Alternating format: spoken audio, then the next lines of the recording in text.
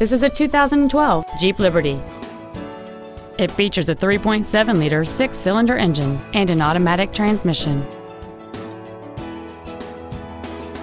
Its top features include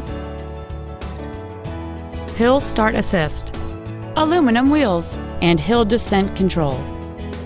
The following features are also included air conditioning, a full-length floor console, cruise control, front and rear floor mats, side curtain airbags, rear seat child-proof door locks, active front headrest, full power accessories, a rear window defroster, and this vehicle has fewer than 25,000 miles on the odometer.